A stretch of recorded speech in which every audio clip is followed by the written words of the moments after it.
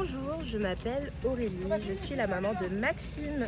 Vous me connaissez peut-être pour certains, certaines, euh, sur l'Instagram Les Aristoflottes. Et on a connu Imagine for Margot parce que Maxime est tombé gravement malade. On lui a diagnostiqué dans un premier temps un cancer du rétinoblastome et euh, ça a été un grand choc pour nous. Ce diagnostic a été infirmé par la suite, mais néanmoins on a dû retirer l'œil de Maxime qui vit maintenant avec un, handicap.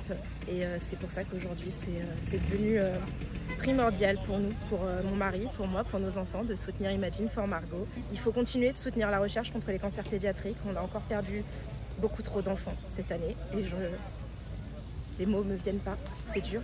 Mais euh, ça prouve bien qu'il y a encore du manque. Ça prouve bien qu'il faut encore chercher, qu'il faut encore trouver des traitements. Et, euh, voilà, tous pour un monde d'enfants sans cancer. Go fight, win